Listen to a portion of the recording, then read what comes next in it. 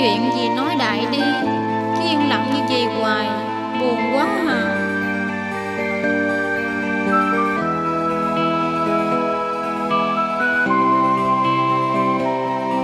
Vậy em hỏi ha. Anh Phúc nè.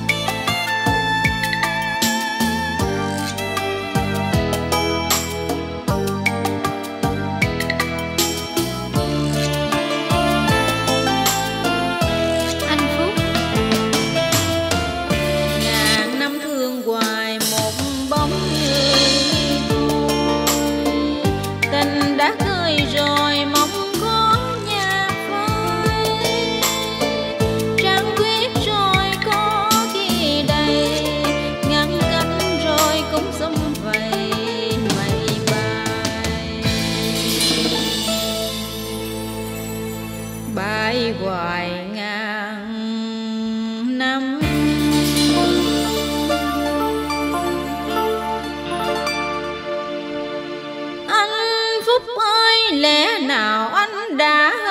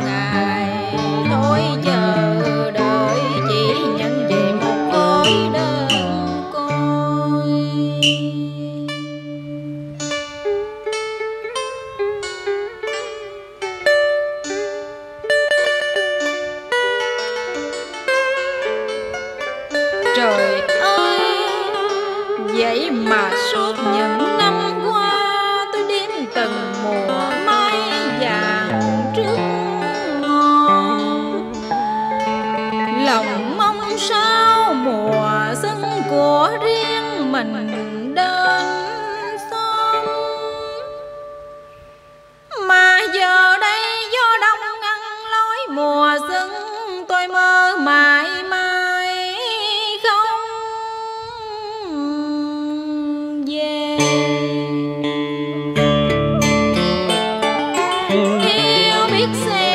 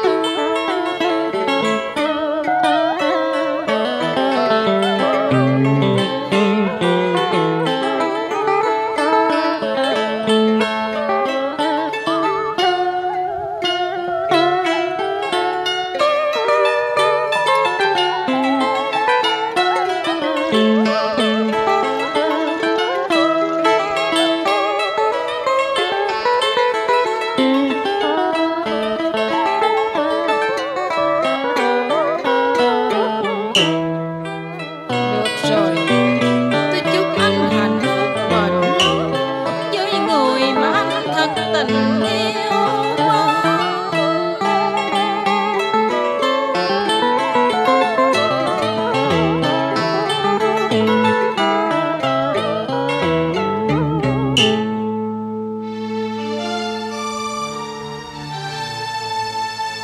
về.